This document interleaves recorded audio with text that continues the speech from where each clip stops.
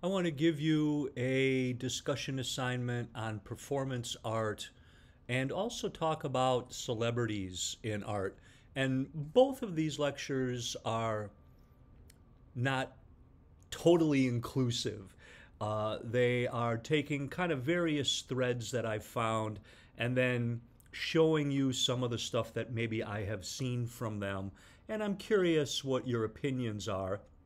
I thought you might find performance art kind of interesting as a form of art because it's not theater, it's not acting in a film, it's something completely different. And then I also thought you might find it interesting to look at some celebrities and how do actors and musicians make art? How are they good at it? And we'll see a little bit of what I found. So there was an article several years ago that I read talking about celebrity artists. Should they be included in the art world? And I began kind of watching there, kind of from that article, I began to kind of watch and see what I was seeing with this going on. And also because a really well respected curator from the Museum of Contemporary Art MoCA, Paul Schimmel, was fired from the influence of Eli Broad, probably, because he wasn't the guy that was out making a lot of money for MoCA glad handing. He was a serious curator. And so after that, they replaced him with a curator named Jeffrey Deitch. And Deitch had been in New York and had been showing uh, street art and celebrity artists and stuff like that and doing pretty well. And it was thought that he would bring some new kind of electricity to LA art, and it didn't do that well. Uh, he didn't last very long, and he was showing actors, and actors were having more access to curating art and stuff in this really well respected contemporary art museum. And in LA, we kind of like to keep Hollywood separate from our art because Hollywood is part of everything else. So the images that I'm showing you here, this is from a gallery called Blum and Poe. Blum and Poe are a great gallery in Culver City. Highly recommend going to shows there. Big gallery. Uh, Blum is the son of Irving Blum, who started the Cool School, someone else I'll talk about in another lecture. And they have been showing really important art, especially art from Japan and China, uh, for a long time. Now, this particular show here was a private exhibition of a sculpture that Kanye West had made. He didn't make it himself, much like other artists in the 20th century. He had an idea, and then he had craftspeople build his idea, and we would give credit to the person who comes up with the idea in the art world. So they had Kanye West sculpture, and they did it in between two shows because they didn't want to alienate all the serious art goers who would really be put off if Kanye West was given a show. And it, let me put it to you like this artists spend their whole life trying to get into a gallery like Blum and Poe and slowly work up through the ranks Whereas Kanye West is not famous for being an artist, he's famous because he's a great musician. Uh, maybe he's also famous as a provocateur as well now. But it's different to go to see art done by because done by someone because you know them as an actor or a director or as a musician than someone who just makes art. And I'm trying to figure out what are the differences in the art as well. So here we see that show. We see the Kardashians in these pictures. Kanye was on tour. We see him in the bottom image uh, on a tablet. This is when him and Kim Kardashian were married. So this sculpture is a giant bed with Kanye and Kim sleeping in the middle. Next to them are their former lovers, Ray J for Kim, and then next to them are other artists. There's Taylor Swift, Swift, there's Rihanna. You see Donald Trump in the foreground here. Bill Cosby is over on the other side of the bed. the first, uh, the President George Bush is in the bed. So what we're seeing is, uh, and also they're highly realistic sculptures that have motors in them that make them appear that they're breathing and they're alive. So this was used for a video called Famous, and the sculpture, when it's in the context of the gallery, obviously is art as well. And what we're seeing here is the idea that when you're famous, you are in bed with everybody, both literally and figuratively. I think it's a pretty good work of art. Critic Jerry Saltz, the article I was talking about on celebrities in art. Jerry Saltz writes for New York Magazine. He's a graduate of Yale. He says that art and celebrity collide with one another in the age of Instagram and digital media. He says there are plenty of room for celebrities like Kanye West, who he considers an artist, or Kim Kardashian, who he doesn't consider an artist, but she's culturally important. And by culturally important, I mean everybody knows who she is. So the questions are do we let celebrities into the art world because art should indeed be open and anyone should be allowed to be an artist if they're good? Or are we letting the celebrities in because they don't threaten the established hierarchy that Jerry Saltz is a part of? So by having a Kanye West come in, it certainly is not threatening the major artists there because he's in that show as a kind of curiosity. What are some of the differences that we find in actors and performance artists? The top image at MoMA, the Museum of Modern Art in New York, the maybe is presented by Tilda Swinton, and she's a great actress. She comes in whenever she feels like it, and she's wearing the same clothes, and she gets into the bed inside of the glass cube, and she either sleeps or pretends to sleep. And people with smartphones and spectators are able to post uh, images of her and be close to their star, yet a wall of glass separating them. I remember seeing this piece and really thinking that this was very similar to the art of Chris Burden. Chris Burden is a performance artist. He's also the sculptor that did urban lights at the LA County Museum of Art. And he, in 1972, in his bed piece, he gets in bed and stays there for 22 days. This is not something that he does kind of part time. This is a full time thing. Chris went to UCI. He did really dangerous performances in the early part of his career. He taught at UCLA, and he's considered one of the innovators in performance art. Here's what he says about his bedpiece.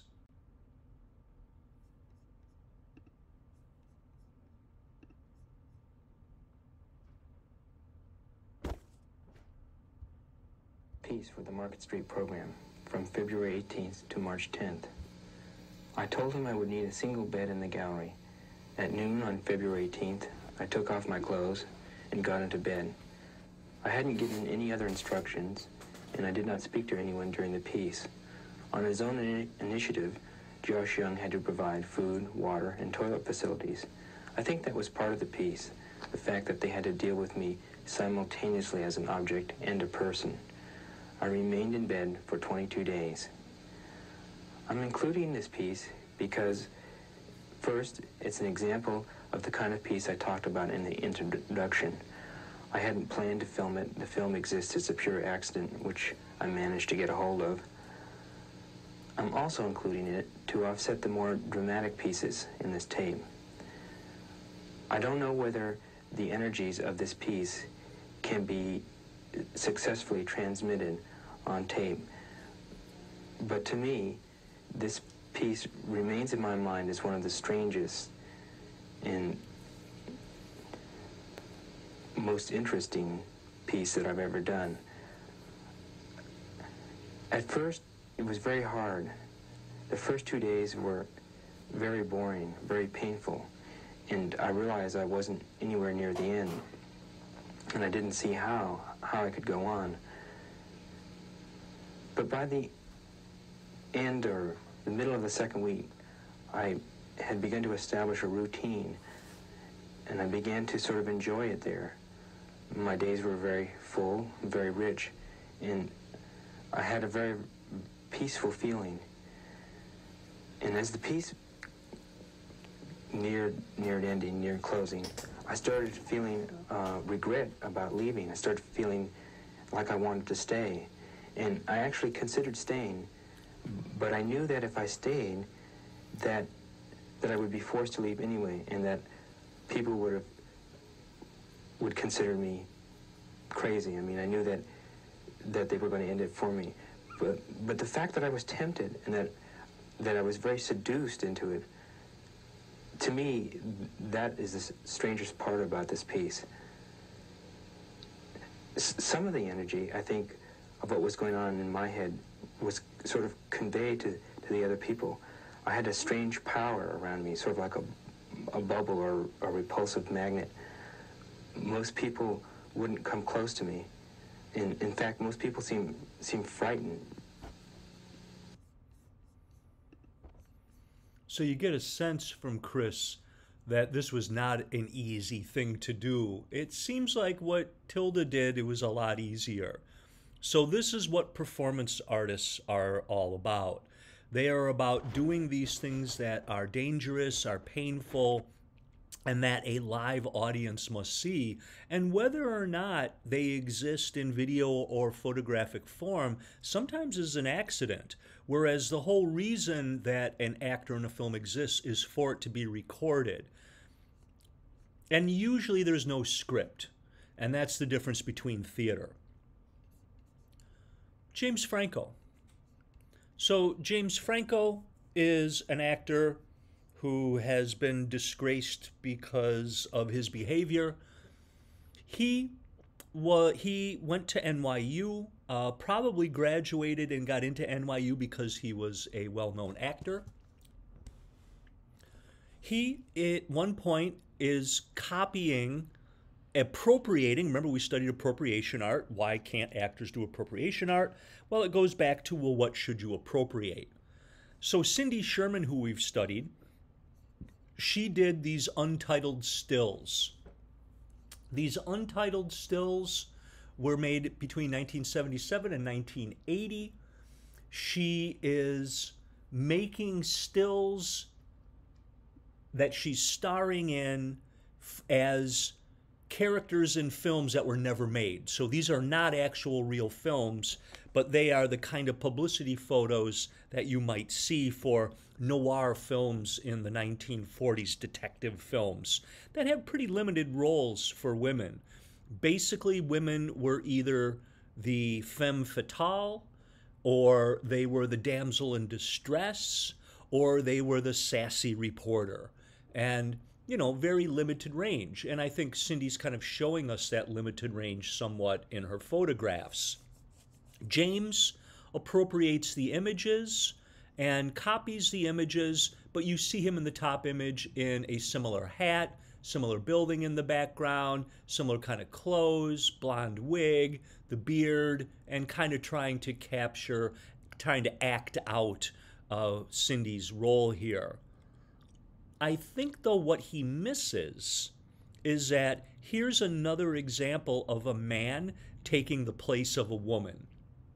So his interpretation seems to be downplaying the feminist themes in her work and also is kind of putting the male gaze back into the work here with him as the star that we're admiring.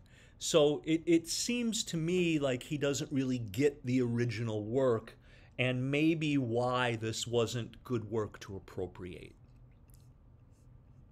So, what is this performance art stuff? Uh, performance art is presented to an audience live. It's usually unscripted. It can be scripted, but generally unscripted. And then sometimes you have participation, sometimes you don't. Chris Burden is one of the early performance artists who kind of sets up what it is. Another one is the artist Marina Abramovic. So Br- Abramovic here in 1977 is performing Imponderabilia with her boyfriend at the time, Ulay.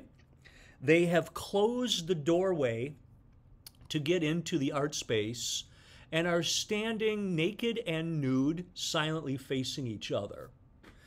This means that for anyone that comes into the art space, they have to brush up against both of their nude bodies. And this presents, you know, presents a conundrum of the comfortable physical space that you like to have between people and also maybe the erotic possibilities of brushing up against one gender and possibly the repulsive qualities of brushing up against another gender. When this piece happened, the Italian government ultimately stopped the show and arrested them. And later on, when Marina has a show at MoMA, uh, a, a, a retrospective, she has actors doing her performances and nobody is arrested. So the idea is is that we know what art is now. We know what performance art is. People get nude in these spaces. Now, getting nude in public is a radical act that can get you arrested. However, being nude in a place where it's understood that there might be nude bodies, that is okay. That is a, a guaranteed kind of freedom of expression that adults can have in private spaces. Shia LaBeouf and Marina Abramovic again. So Shia is a child actor, struggled a little bit becoming an adult actor, and in that tough time, he plagiarized a story that he said that he was writing, got caught on the internet, and responded by not saying, Hey, I'm sorry, I'm going through a tough time. Responded by putting a bag over his head on the red carpets and saying, I am not famous anymore. Didn't really work. So he then did a show at an art space where he sat in a room with a bodyguard, and you were allowed one at a time to be in the room with him for about a minute. In the room, he was either wearing the bag and sobbing, there was a bottle of whiskey there and a whip, and you had a couple of moments alone with this actor. The things that I thought when I saw this, uh, I guess he has uh, the implements like a whip to a vase of daisy. I don't know of anybody whipping him, by the way. Uh, there was a bodyguard there. So he stares in silence, sometimes sobbing un- uncontrollably. When I saw this, I thought of Marina Abramovic's Rhythm Zero, which we see in the bottom images. Rhythm Zero is done in the 70s. Marina is in a room full of people in the gallery, and she is a living sculpture. And for a time period that she sets up, you are allowed to do anything you want with her. So you can pose her. Uh, she has implements also that include a feather duster, um, that include, there's a, a revolver and a bullet that is separate from the revolver. There's a pair of scissors. So it starts kind of playfully with people moving her, setting her in chairs and stuff. And she doesn't do anything to resist. She set up these rules. Then it starts to get a little bit darker. The audience cuts her clothes off. The audience member, somebody cuts her face with the scissors. They cut her jugular vein and they drink some blood out of her neck. And then one person that you see here put a bullet in the gun, put the gun up to her neck, and made her hold it. And that is when the gallerist ran into the room, took the gun, and threw it out the window. So when she did this, she did this for everybody to see. Uh, it was dangerous, and she put up with it, no bodyguards. And how does she respond to Shia taking her work? And she says it's so manipulative, it's so complicated to answer. It's very interesting to me to go that the Hollywood world wants to go back to performance, which is something so different from what they are doing. Maybe they need our experience, maybe they need simplicity, maybe they need to be connected with the direct public, which you know being a Hollywood actor doesn't permit you. So again, between James Franco, between Shia, we see that actors aren't necessarily that good at making art. I found an article discussing the differences between actors and musicians making art. And the article says that rock stars are usually better at painter at being painters. Uh, Bob Dylan in the bottom, he is part of the Gagosian Gallery in Beverly Hills. He does these watercolors of him in the tour bus as he's traveling across America, you know, doing performance dates, hundreds of them. So it's a very kind of lonely experience, and the watercolors have a little bit of a shakiness to it that you might have from trying to paint while you're on a moving vehicle. Actors seem to have a tougher time. In the above image, we have Jim Carrey, and this guy, Jonathan Jones, he really kind of bashes Carrey for this video that you'll see here. Uh, I'm not going to play it, but you can you can see it on the PDF. Perry, uh, Jim Carrey had some personal problems, started painting, put out a video of his paintings, and it was very earnest, very serious. But the work was kind of so bad, and the way he was talking about the work, you weren't sure if it was if he was serious or if maybe this was a role he and he was putting us on. So he now let me let me just say this. Painting is all about persistence anyone can learn how to paint if you do it for years. And Jim Carrey has been making pretty good paintings, I think, in the last few years. He's gotten better at it. I'm not so sure he should have rushed out this video of him painting so quick. And again, why would anyone be interested in Jim Carrey's paintings? Not because he's an artist, but because you're curious well, how does this comedic actor paint? And the idea that he might get a show in a gallery that might belong to an artist who has spent more of their life and has more merit in art is a little bit hard to stomach from an artist's point of view. Now, there is a LA artist that came kind of respected for his photographs, Dennis Hopper. Dennis Hopper is uh, was an independent filmmaker who helped made the movie Easy Rider that created an entire independent movie craze in the early 70s. He is an actor who starred in a lot of really good films. And he spent his time in Los Angeles with a camera. He was a competent photographer, and he was documenting the world around him. Uh, you see Jane Fonda probably in his backyard with a bow and arrow. We see outlaw bikers in the top image, those outlaw bikers that Hopper was hanging around with that helped him make this convincing movie of outlaw bikers in Easy Rider. So he was also hanging around artists. He was hanging around the original important artists in Los Angeles, the Ferus Gallery and the Cool School. So he knew art, he hung around art, he understood photography, and he documented his truth. He documented the world around him. And the photographs are okay. I've seen them several times. This is kind of what I was talking about earlier in the lecture. This is Jeffrey Deitch. Here's James Franco. And this is where MoCA makes a mistake in thinking that people in LA want to see celebrities and art. And ultimately, we don't. It's one of those things that we kind of try to stay separate. So, MoCA, their board was made up of artists. It's known as an artist museum. And these artists people that we've seen John Baldessari, conceptual art, uh, Ed Ruscha, we saw him in printmaking. Barbara Kruger, we've seen her artwork. Uh, we will look at Catherine Opie's photographs. All four of these artists have been part of our class, or will be part of our class. And they all resigned from the board when Deitch started. So Deitch says that we're going to create a new model of how to present a solo show of a contemporary artist.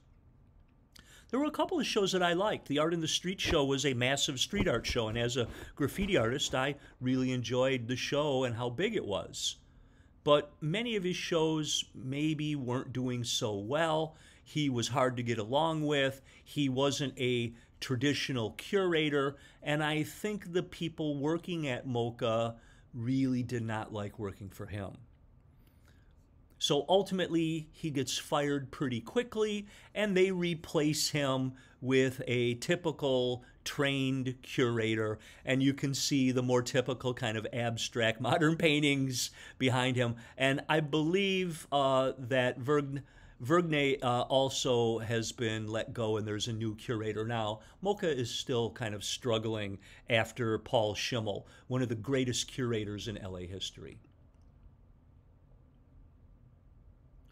So, what I would like you to do is I'd like you to take a look at the assignment here. So we got Chris Burden. You might want to watch the whole video of Chris Burden. Some of his performances are crazy. Uh, he nearly kills himself consistently in these in these performances. Bedpiece is pretty benign. So I want you to kind of compare what you've learned about an artist like Chris and, and, and actors doing performance art. Do you think that musicians might be better than artists to make art? Is it because they play instruments uh, rather than actors who, if they don't write, are just kind of waiting to become whatever they're told or directed to do? Maybe it's harder for them to find their own space. And then the third question I have is Is there a celebrity that you'd like to see make art? And uh, I'd like to know why you'd think that they'd be interesting uh, to see them make art. So that would be our discussion, and uh, I hope that you uh, enjoy it. I think it's got some fun qualities to it, and I'll talk to you soon.